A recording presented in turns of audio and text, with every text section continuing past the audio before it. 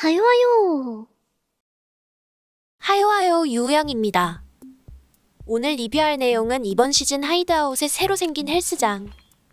이번 시즌부터 허물어진 벽으로 인한 debuff가 새로 생겼습니다. 빠른 레벨업을 위해서라도 벽을 수리하는 게 좋겠죠?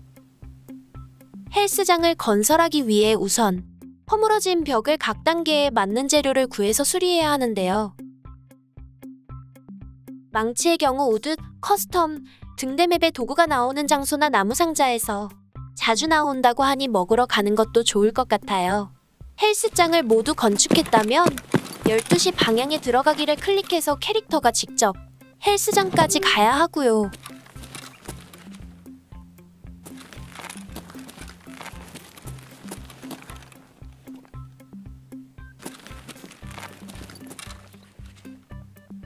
헬스장에서 F키를 눌러 운동을 시작할 수 있습니다. 시작하면 가운데에 마우스 좌클릭을 하라는 표시와 함께 선이 점점 좁혀오고요. 흰색 부분에 정확히 맞춰 클릭하면 성공. 흰색 부분이 초록색으로 바뀌면서 오른쪽 아래에 stat 오르는 걸 확인할 수 있고요. 실패 시 빨강색으로 바뀝니다. 자주 실패할 경우 캐릭터가 골절을 당하기도 하니 조심하세요.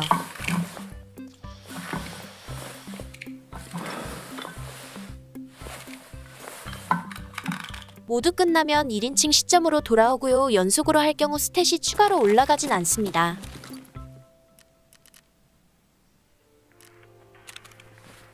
헬스장은 캐릭터의 음식 수분을 사용하기에 운동 전엔 꼭 음식을 먹고 시작하셔야 하고요.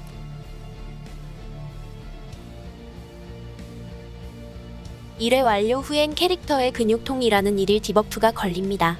현실의 바쁜 유저들에게는 조금이나마 쉽게 스탯을 올리는데 도움이 될지도 모르겠네요.